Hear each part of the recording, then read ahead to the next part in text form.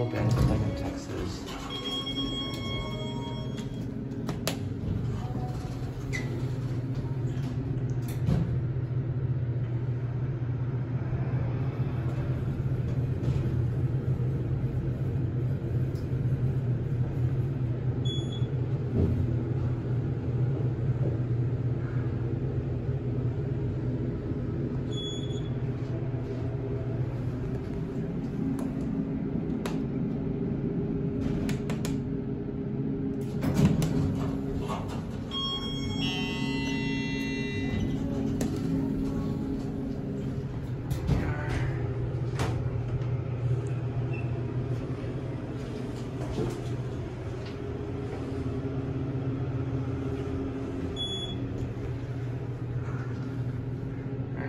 be it for this video.